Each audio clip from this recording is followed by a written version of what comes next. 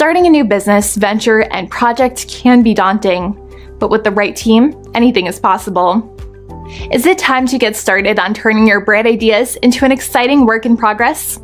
Fiverr is offering its Fiverr Business Annual Membership at 100% free for the whole first year.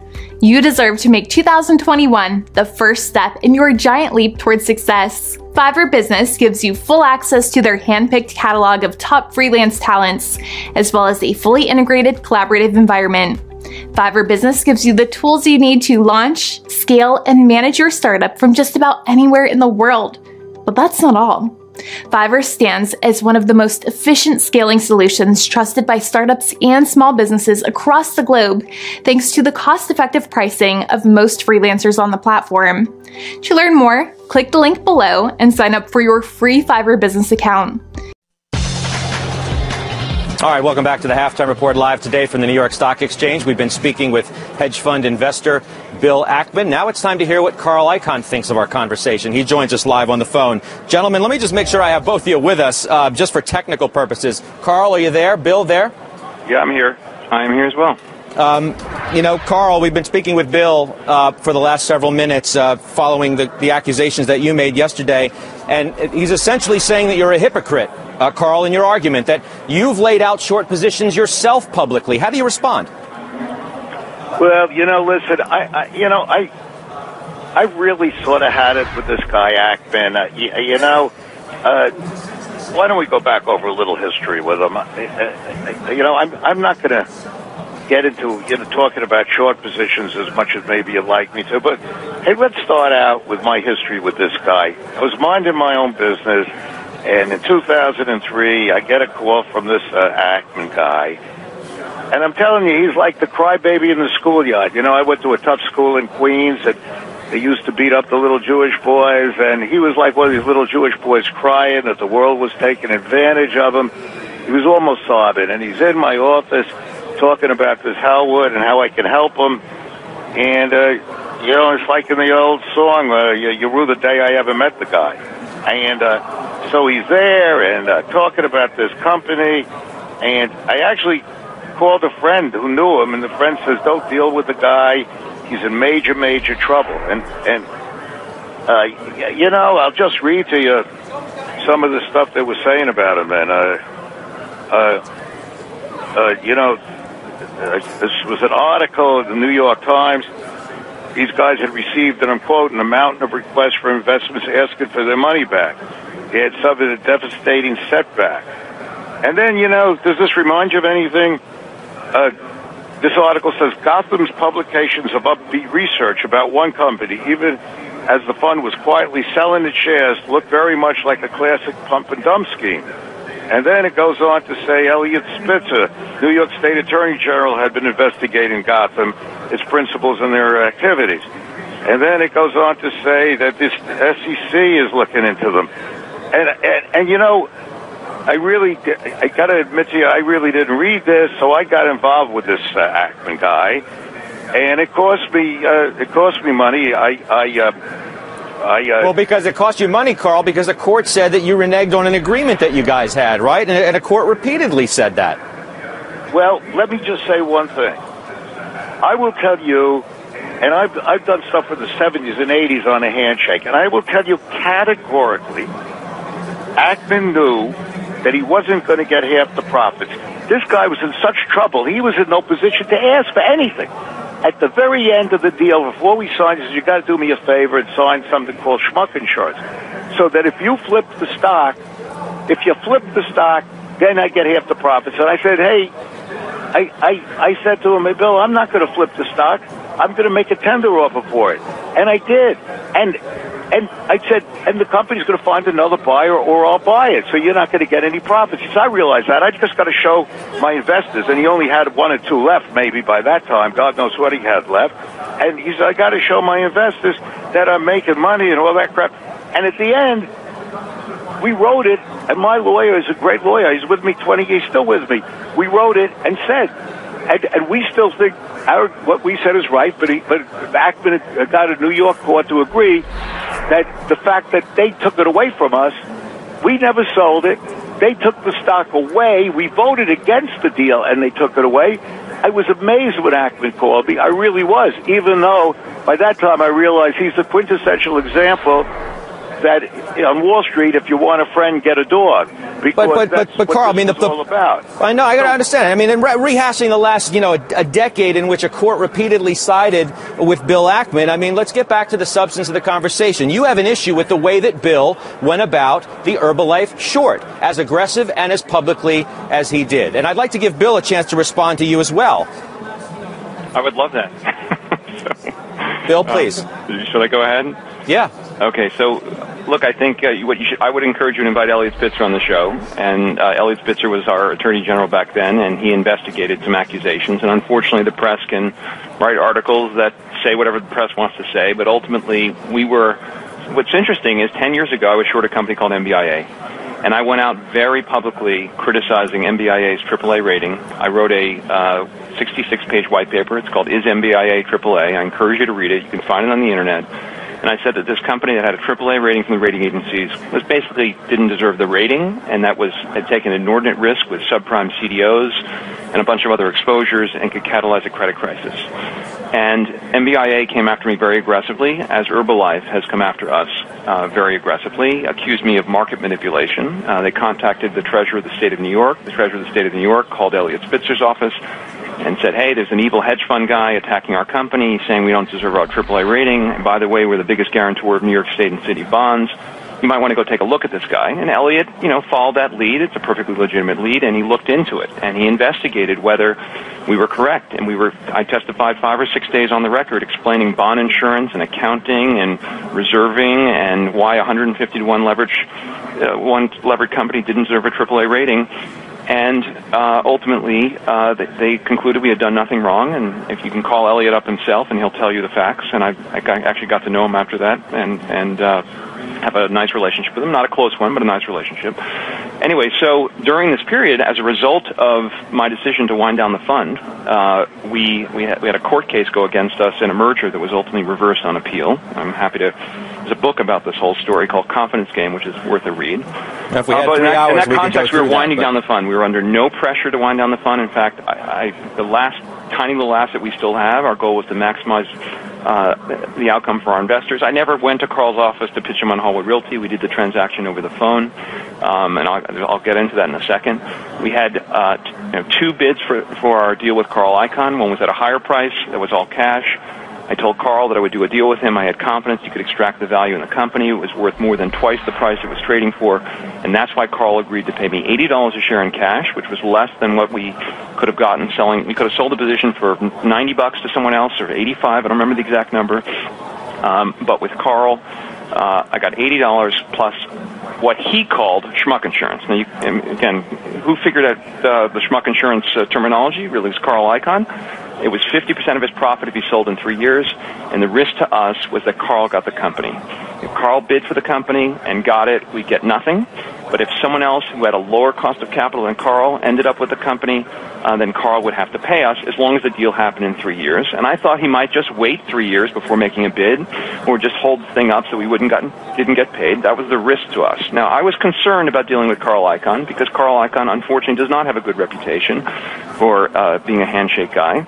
And if you notice the agreement that was written, I insisted we keep it under 10 pages. There's a simple example in the agreement. You never see a lawyer. Lawyers, I told the lawyers I wanted to put an example, and they said, no, no, don't put an example in. You know, we'll just use words. I said, we can use words, but I want to have an example. I want to make sure there's no confusion here. When Carl says this transaction was a merger, okay, what happened in this transaction is the company, Carl bid $100 a share for the company. The company uh, hired Morgan Stanley to sell the company. Carl raised his bid to $120 a share, and the company made a deal to sell it to a REIT whose cost of capital is lower than Carl's. He got they got $136 a share for the company, and the transaction was structured as a cash-out merger. Stick with me because this is important, and Carl has been uh, maligning my reputation, so it's very important that we get to the facts. All of this is provable in the courts. Okay, so let me just finish. And uh, the transactions were cashed out in a cash out merger.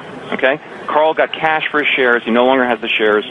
And very clear. Okay, Carl made all kinds of arguments saying he didn't do it voluntarily. That's true, but our agreement never said voluntarily. It said if he sold or otherwise transferred. Right. Why do we say sell or otherwise transferred? Because we wanted this to be the Look. broadest possible reading that, some, that Carl couldn't work his way around the agreement. I've got a few more points to make. Stick with me for one more second.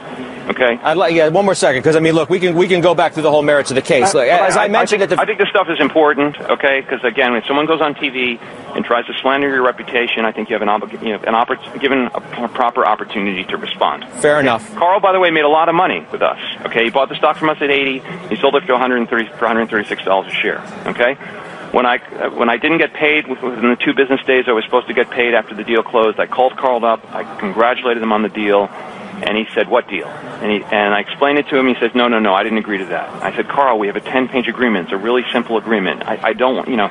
He said, I'm not going to pay you. I said, well, you know, then I'm going to have to sue you. And, and he says, go ahead, sue me. Won't survive summary judgment. And I said, Carl, we're going to get summary judgment. We did get summary judgment. You know what he said to me? He says, Bill, you know what we're going to do? We're, I'm going to sue you. Okay? And he threatened to sue me. Okay? And why did he threaten to sue me? Why was he doing what he, he was a bully? Okay? I was not in a very good place in my business career. I was under investigation by Eliot Spitzer. I was winding down my fund. There was negative press about uh, Gotham Partners at the time. I I was short MBIA. They were very aggressively attacking me in the press. And Carl Icahn thought, you know what, this guy's roadkill on the hedge fund highway. I'm never going to have to worry about this kid again. He's not going to even have the resources to sue me. So I'm just not going to pay him. And by the way, the number of stories I have heard from bankers, from lawyers, from people he's uh, transacted with, with, where he's done similar kinds of things to take advantage of someone.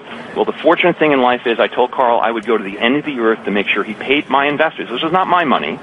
These were my investors' money. Every penny that he owed me with interest. And we got, and I went to the end of the day. He tried to settle with me. He offered ten million dollars to my favorite charity over a dinner that we yeah, had I mean, at his favorite Italian restaurant. You, you know, hey, what's his name? The guy. Hello. Anyway, so uh, again, I think this is not a great use of uh, CNBC airtime. Well, let's what let's I can let's tell make... you is th- this is not an honest guy, and this is not a guy who keeps his word, and this is a guy who takes takes advantage of little people. That's what. Let, let's let's make good use of it, th- th- or better use of it. Then, um, Carl, why, why, don't, why don't you just come clean on on the Herbalife thing? Um, are, are you long or not? Right. I mean, the whole market knows hey, listen, or suspects hey, listen, that you are. I didn't get on. I didn't get on to be bullied by you. Okay. If I could talk, let me talk. But I don't need you to. Hello. Yeah, I'm here. I'm, I, no, one, no one's bullying you, Carl. I mean, I'm just, you know, you're the one who called in to, to, to our show to talk to Bill Ackman, and the, hey, the no, principal no, issue is the Herbalife hey, thing. Hey, hey, li- listen to me. I was called in by Max Meyer to have a conversation, not to argue Right. with you. All right. If you if you want to take, hello. Yeah, Can you hear me? we're listening. Well, if you're listening, let me talk. I did. I, you know, I want to say what I want to say, and I'm not going to talk about my Herbalife position because you want to bully me. All right. I'm not bullying you. I'm asking the question everybody wants to know, Carl. That's all. Well, but you can make your statement. What you want to know? I'm going to talk about what I want to talk about. And if Okay. you want to take that position, I'll never go on CNBC. You know, so you can say what the hell you want, but Okay. I'm going to tell you, I'm going to talk about what Ackman just said about me, not about Herbalife. And I'll talk about Herbalife when I want to, not when you ask me. Okay. I'm never going on a show with you again. That's for damn sure. Okay. So let's start with what I want to say. Ackman is a liar, okay? To begin with, I've lived my life from 1960s and 70s by handshakes. I almost lost my firm a few times by handshakes. Ackman has a has does pump and dump. He's got one of the worst reputations on Wall Street, and I'm going to tell you this Herbalife is a classic example of what he does. Let, let's look at Herbalife. Ackman was doing badly in 2012. He was down 2 3%. He probably woke up in the morning and said, let's see what company we can destroy and put out a, sh- a bear raid on it. It's happened from the, late, from the late 80s till now. And go do a bear raid, kill the stock, and now we can show our investors we made more money. And by the way, if we can mark these things and make more money, he says that he's not taking the profit, but that gives him a, a better a better rate of return for himself. Ackman has done that.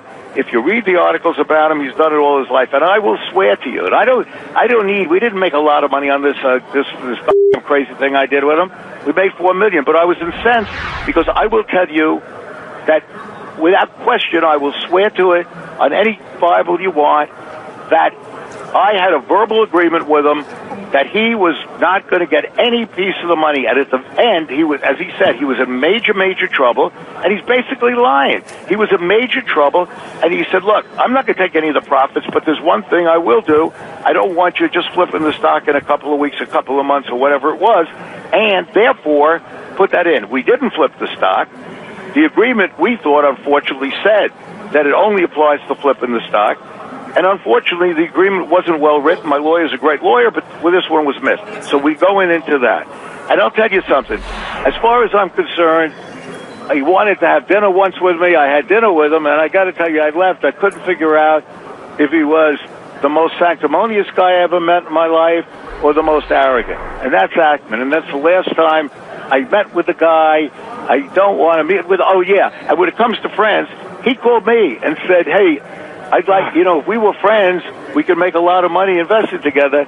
And I, I knew that even if I wasn't friends, I never would invest with this guy because I tell you, the guy takes inordinate risks. Carl, let, let, me let me let me, let me um, if, if I may. What the hell I want to say? You let you let Ackman talk, so let me talk. Uh, you've been okay? talking. Okay, you can continue. Okay, thank you. And and and I will tell you that Ackman takes inordinate risk. He he goes short 20% of a company goes out there, and I'll tell you, this could be the mother of all short squeezes.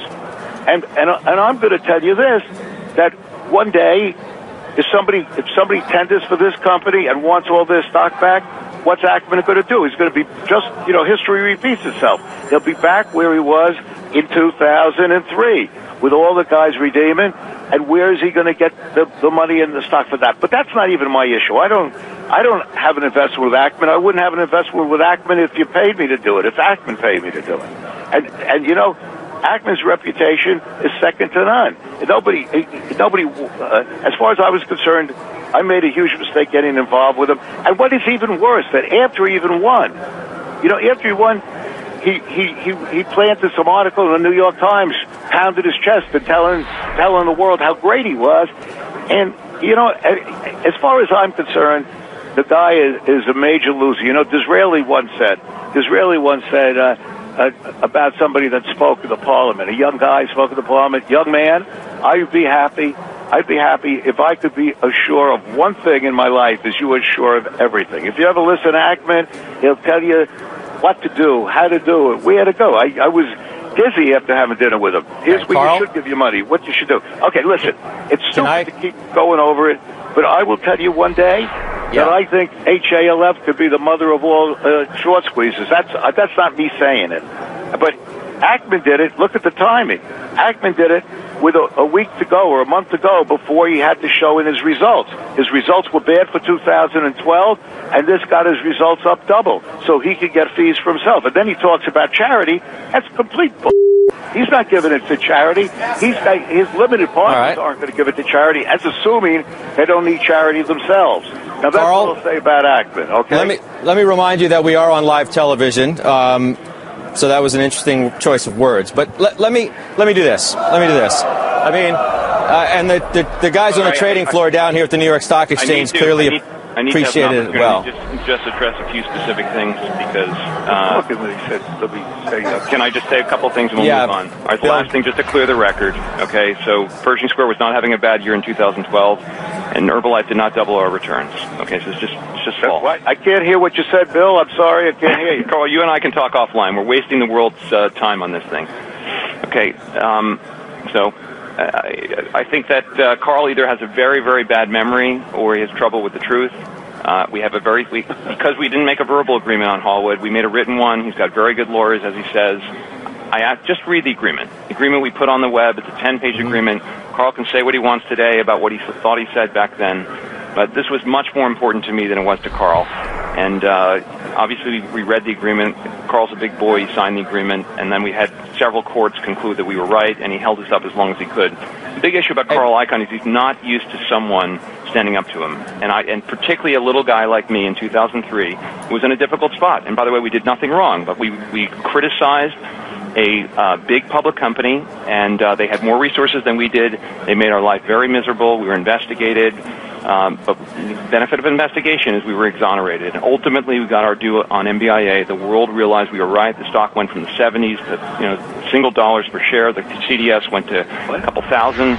uh, basis points, and we made a lot of money for our investors. And I gave $150 million, which was my share of the profits from the MBIA investment to the Pershing Square Foundation. And we've given away more than that. I'm going to do the same thing all over again with Herbalife. Okay, Herbalife is going to try to attack my integrity. Carl can try to orchestrate a short squeeze. He can do whatever he wants. Okay, he can try to scare my investors from investing with me, which it sounds like he's attempting to do on this call. We take prudent risks at Pershing Square. We're an unlevered fund, uh, and we are very thoughtful in the way that we do our business. I'm going to end my, you know, I, I told Carl after the whole thing called me up, and he literally said, you know, Bill, we can be friends now. Okay, I wish I had a recording of the conversation. I simply said to him, I said, look, Carl, you are no friend of mine, and and that was it. And uh, and uh, every time, so he goes on TV, he wants to slander me. I'm going to defend myself. I, I never said that I want to be friends with, with you, Bill. I wouldn't Okay, be friends okay, with Carl. you. And I would, you said okay, to Carl. me you'd, you'd like to be friends so that we could invest together. Carl, I have no interest. Uh, do you think I want to invest with you? Okay, let's let's I move would invest with you Let, if let's you were move the on. last man on earth. Let's move on. Carl, Carl, let me let me just ask you though. I mean, the, the, the crux of the, the, the argument doesn't really go back, or, or doesn't so much focus on, on ten years ago, or maybe it does. It, it focuses on the most recent history, and that is Bill Ackman's short play on Herbalife. You criticized him quite heavily for the way in which he he went public with the short. Would would you be willing to admit? That in the past, I mean, look, you, you've got sharp elbows as well. You, you've got weight to throw around too. That it, that's the way of the short world, isn't it, Carl? Hey, listen, if I'm going to admit it, I'm not going to, that I own stock, I'm not going to admit it with a guy like you on the TV because I don't think you've you've been handling this fairly. I think you're trying to attack me and, and bully me into admitting something. And so you expect me to do it on your show? No, I'm not. I, I'd like to ask you a question. If you Okay. think you're going to bully me into doing it, Yeah. you seem like a nice enough guy. I don't think I've ever been on a show with you, but I don't think I take the bullying. So do Um, you think that okay. you're giving me all this bull? Hey, and Max Meyer said I could say what I wanted on the show, so I'm saying it. All right. Hey, We'll send- we'll send Max the, uh, the bill. admit it on your show after you try bullying me and coming Okay. up against me, do you? All right. Well, I, I let, don't let me. I'm known. Hey, look, I think. Let, no, no, no, no, no. Wait, wait, wait. Carl. Let, let me That's just say true. first. first wait, let me say, Carl. I'm not. I don't like being bullied. But I am not. I have. I believe. Nobody here, nobody here is bullying you. First and foremost. Second of all, Well, I know, simply asked you. I si- uh, let me finish, please. I, mean, I you simply asked you. in and start I sim- about the goddamn deal ten years ago. Why the heck are you getting involved in it? I, I simply asked you to reveal whether you were long Herbalife, as the world wants to know, and the motives behind it. That's all I, we want to know. That's what every person watching this program Well, wants you to know know. And if that position is in okay, all, can I answer? Can I answer? Let's, Yeah. You, want- you want Yeah. to keep talking? I'm going to No, answer it to you. yeah, Max Meyer called me up. He said Ackman is making all these aspersions about you.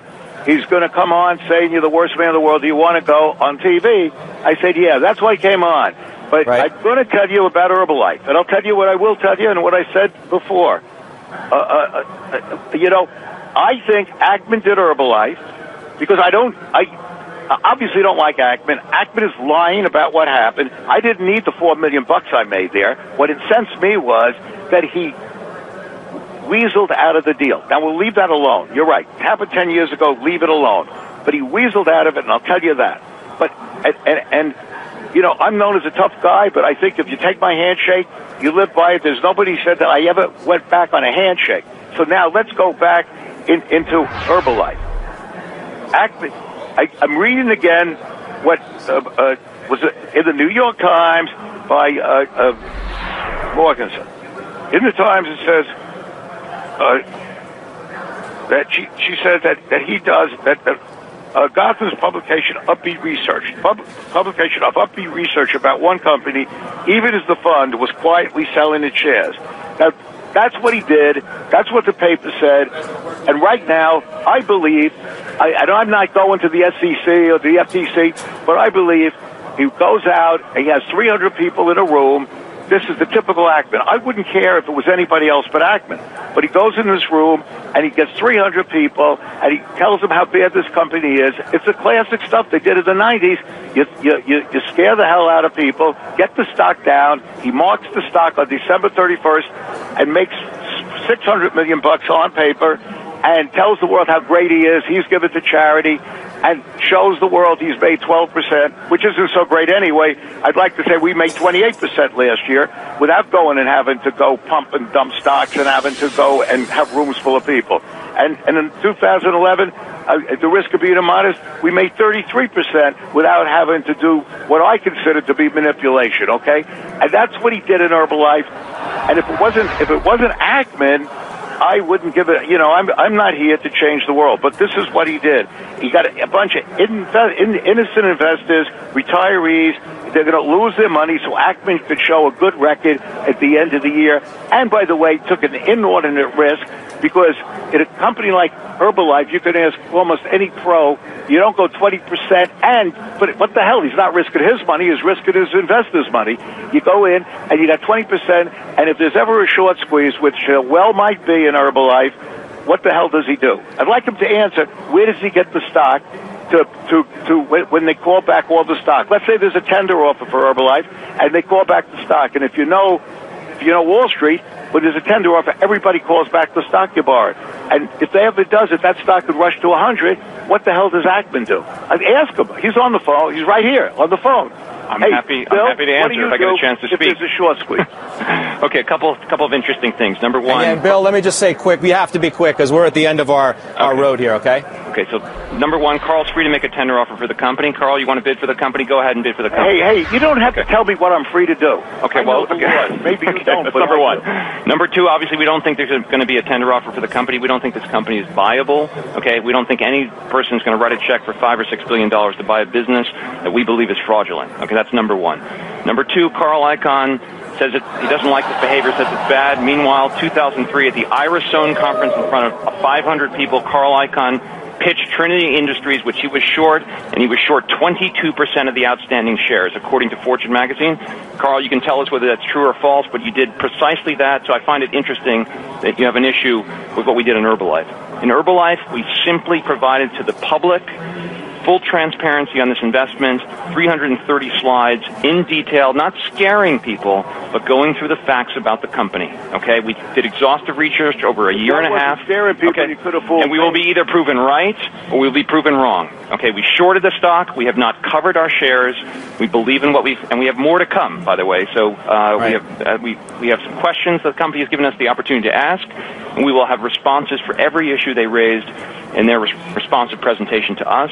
And what I thank Carl for is he certainly helped highlight Herbalife and the issues at Herbalife. And I don't, my guess is that Carl bought Herbalife if he did, because that's what he, someone at his shop leaked to the press, and he flipped it out when the stock went up, and he made a good trade. Congratulations on a good trade. I don't believe there's any real investor who can own this business long term, because we believe it's a pyramid scheme. We believe we can prove that to a Wait, high wait. degree of certainty. Right. Hey, uh, I, I appreciate, Bill, that you called me a great investor. I thank you for that.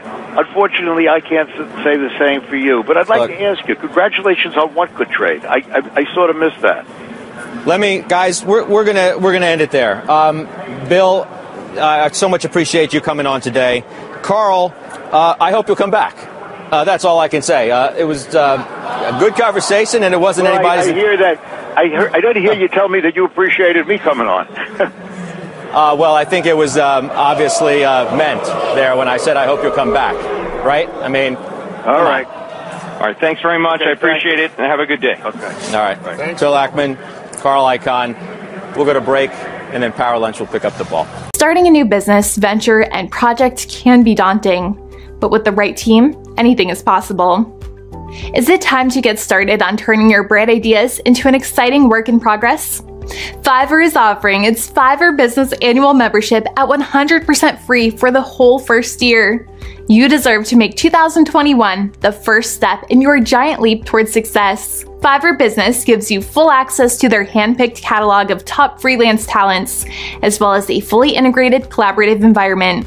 Fiverr Business gives you the tools you need to launch, scale, and manage your startup from just about anywhere in the world. But that's not all. Fiverr stands as one of the most efficient scaling solutions trusted by startups and small businesses across the globe, thanks to the cost effective pricing of most freelancers on the platform. To learn more, click the link below and sign up for your free Fiverr business account.